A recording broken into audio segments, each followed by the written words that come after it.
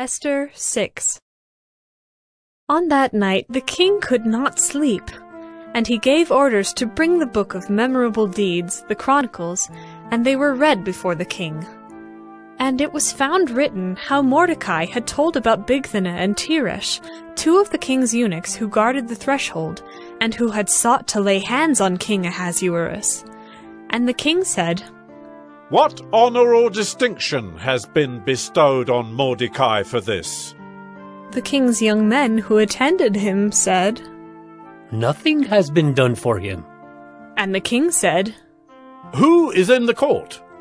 Now Haman had just entered the outer court of the king's palace to speak to the king about having Mordecai hanged on the gallows that he had prepared for him. And the king's young men told him, Haman is there, standing in the court.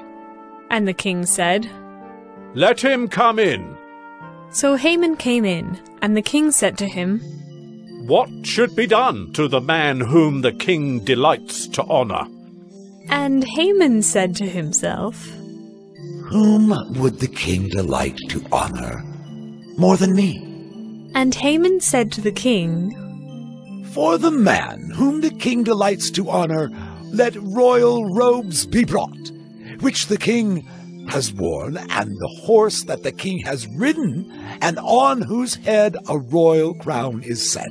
And let the robes and the horse be handed over to one of the king's most noble officials.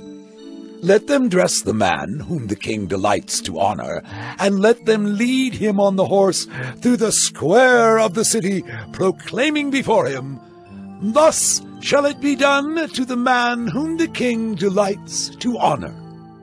Then the king said to Haman, Hurry, take the robes and the horse, as you have said, and do so to Mordecai the Jew who sits at the king's gate. Leave out nothing that you have mentioned.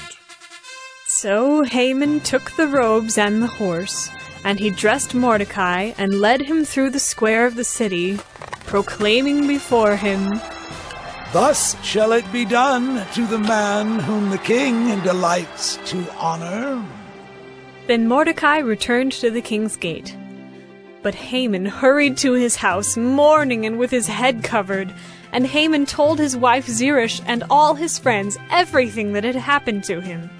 Then his wise men and his wife Zeresh said to him, If Mordecai, before whom you have begun to fall, is of the Jewish people, you will not overcome him, but will surely fall before him. While they were yet talking with him, the king's eunuchs arrived and hurried to bring Haman to the feast that Esther had prepared.